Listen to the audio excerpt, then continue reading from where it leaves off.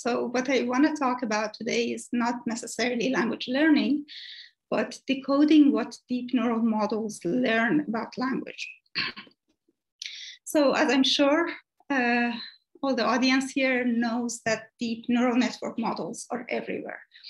Uh, in any domain of artificial intelligence, machine learning, data science, when there is enough data, there are enough examples of a particular task, you see traces of neural network-based models that learn patterns from these large data sets. And the domain of language and speech processing is no exception. Here I uh, have put a sketch of the transformer network, which is now the front runner in neural network architectures. And um, as you can see, I'm not going to explain the architecture, but what I hope that you can see from a very shallow glance is that this is a very complex architecture. On the right-hand side, you see a language model called BERT, um, which is basically the foundation of many models, natural language processing models for various applications.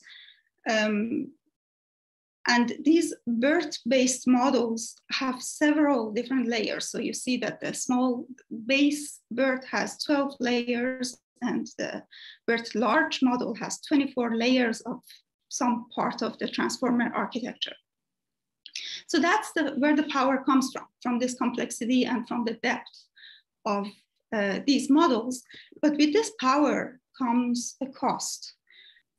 All right, so as I was saying, deep neural network models are very powerful, but they're very hard to understand because of uh, their complex architecture and because of the ma very many parameters that they have. Um, we can't easily understand the inner dynamics of these models. And this poses a challenge for both people who want to use these in applications, uh, uh, as well as the researchers who want to understand how these models work. So some of the main questions that we are faced with are, for example, what aspects of input does a model pay attention to? What knowledge does a model learn to perform a particular task? How can we use this information to improve both the performance and the generalizability of such a model for a new domain or for a new task or a new data set? So what I'm gonna do today is not to provide any answers, but to uh, give you some glimpse of some general approaches that people have proposed for getting some insight into how these models work. The first approach that I want to talk about is input manipulation. So this is a, an approach that's actually inspired by behavioral psychology. The idea is that you have a black box, you want to understand how it uh, operates. So you basically manipulate the input that you give to this box and then observe its behavior. So as an example, let's say that we want to measure how much the output of a natural language processing model changes if you remove one word from an input sentence. Can you move to the next slide? Yeah, so as an example of a task, um, let's assume that we train a model that learns to map images to captions. So if we give enough examples to the model, it can actually map this picture of a baby laughing uh, and looking at the computer to the caption, a baby sits on a bed laughing with a laptop computer open. Next slide. Now, if you, if you manage to quantify the contribution of each word, you will see that um, on the x-axis we have each word and on the y-axis we have the contribution of that word.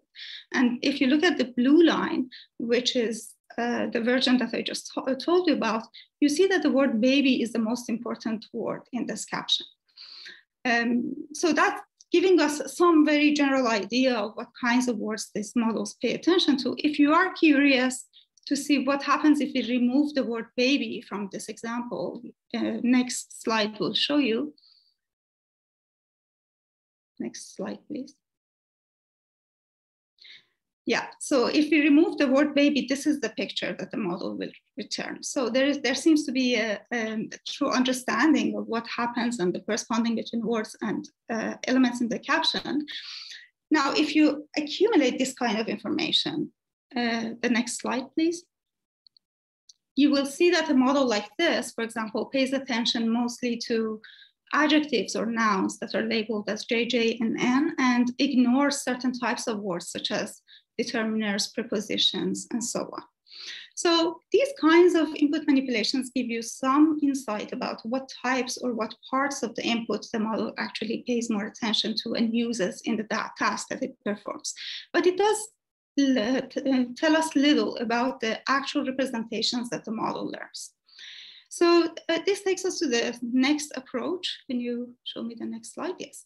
So here, the idea is that we want to actually analyze these internal representations that these deep models learn. The questions that we might have to want to ask is, what aspects of language does the, mo the model encode? For example, does the model encode linguistic forms such as words, morphemes, phonemes, syntactic structure, and on which layers the, does this information gets encoded?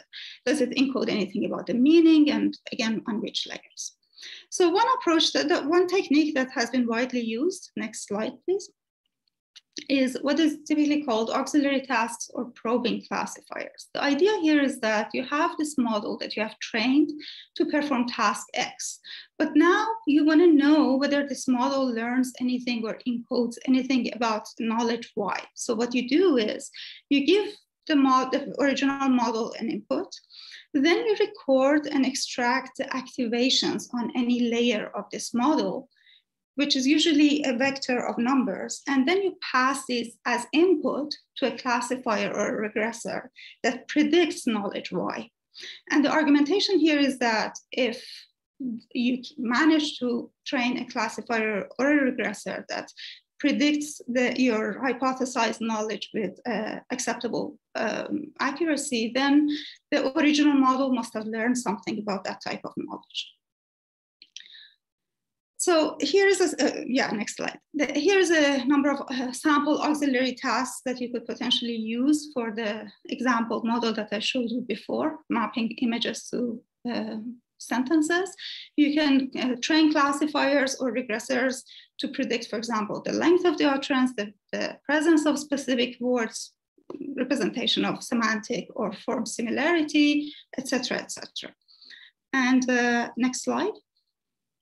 This is a sample uh, snapshot of the results of an, such analysis on a model that we've been working on, where you see that the best performing uh, probes, probing classifiers or probing regressors for tasks that uh, include uh, some sort of information about linguistic form are often um, the ones that use input um, activation layers from lower layers in the model. And if you use activations or representations from top layers, then models that involve some sort of a meaning usually perform better. So these are very widespread techniques, these probing classifiers or auxiliary tasks. So the last approach that I wanted to tell you about is um, representational similarity analysis. So what happens in the case of probing classifiers or auxiliary tasks is that we are trying to map representations learned by a model to a different representational space, for example, to the space of morphology or, or syntax. But when these representational spaces became, become more complex or uh, structured, then these probing classifiers don't work very well. So here, uh, a different type of technique that is actually borrowed from computational neuroscience comes to our rescue. This is called representational similarity analysis. And the idea is that you have the same set of stimuli or data points, but these are arranged differently in two different representational spaces. One is the representational space that our model learns, and the other one is the target or hypothesized representational space that we are interested in. And what we want to do is to actually measure the correlation between the similarities, pairwise similarities between points across these two uh, spaces. Next uh, slide, please. So what we need here is basically a similarity metric within two spaces A and B. And what we don't need is a mapping between these two spaces. So in that sense, these models are very versatile. And just as an example of their application, next, slide, next slide. Uh, we applied this method to BERT uh, that I mentioned on the first slide to see whether it encodes anything about syntactic structure. And here you see that BERT, the red lines, uh, the BERT model actually encodes most syntactic structure on its top layers, namely layers 22 to 24. So to wrap up what I just said, next slide. Um, this domain of developing interpretability techniques for deep neural models of language is a very young domain, but it's a very fastly uh, moving and developing. And we see new techniques being introduced um, pretty much every day. Um, and you can generally think of these as two different general approaches. One, when we have a hypothesis in advance, we are looking in the, for the encoding of a hypothesized type of information in our models. So probing classifiers or representational similarity analysis are examples of this approach, or data-driven approaches when we uh, look at how these representations are formed. For example, by manipulating input or uh, following the propagation in these networks. Um, I wanted to uh, finish my presentation by uh, telling you about this recent project that was just funded by NWO, um, which is exactly uh, focused on this uh, pursuit of interpretability techniques for deep learning models, uh, for deep models of text and sound. And uh, last slide, please. The, there are quite a few uh, PIs involved in this project, but as you can see, we also have three people from Tilburg, Tom Lentz, Grzegorz Chrupała, and myself, all from uh, School of Humanities and Digital Sciences. So if you have any questions, I would be very happy to answer. Thank you very much.